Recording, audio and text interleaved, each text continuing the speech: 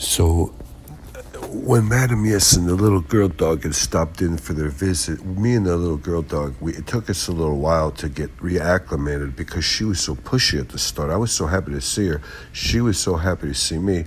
But when everybody was sitting around in the big parlor room, you know, touching each other on the legs, and the man and the and the Madam Yes were giggling and laughing, and and the and you know I was even wagging my tail. The little girl dog didn't know what to do, so she became really pushy, and she tried to like push me underneath. You know, she tried to bark at me and make me go land, you know, someplace else. She tried to drive me away so she could have all the affection for herself and all the good times, camaraderie and I didn't really want to go, and uh, but I did. I walked over into the anterior. It's kind of like an anterior kitchen. It's like the I don't know what you call it when you when you it's like a, got a nice bar. It's got a sink. It's got everything a little tiny kitchen kitchenette would have. But that's where they make the hors d'oeuvres. And if caterers come, that's where they would serve us from. You know, we were taking care of our own service, but.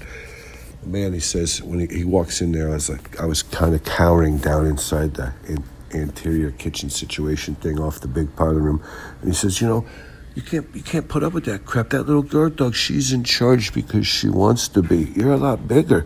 She's pushy. She takes command because she wants to. She's just in her. She's like a fearsome little general.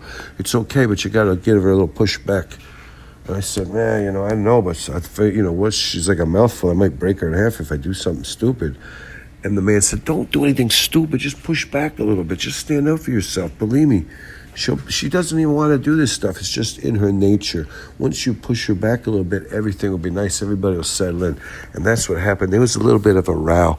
Madam Yes got a little bit upset with me. You could see she got a little, her eyes widened. But the man, he pretended he wasn't even watching and he kept sipping his bourbon. And Madam Yes, that's what she did. She followed suit and she was sipping her bourbon. And, you know, everybody calmed down. I didn't really do anything. I kind of like stood up abruptly. The little girl dog didn't like it. She was kind of like ran up to me, was going to, and I let my tail, I turned around and let my tail kind of give her a little smack. Just like almost like Godzilla would come around and give something a big smack, maybe whip King Kong's legs out from under him, or maybe would smack a boulder toward toward Mothra's head if they got into a tiff.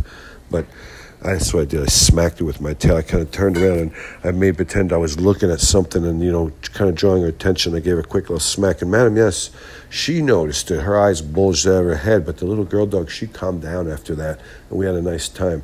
And that's just something sometimes you have to do. Sometimes you have to stand up for yourself because believe you me, when after I did that, that little girl dog was my little lovey dovey and we loved each other. We had such a wonderful time together. It was so amazing. I was the biggest, one, most wonderful day I've had in a long time. And it all started with a, you know, a little Godzilla whip with my tail upside the little girl dog's head.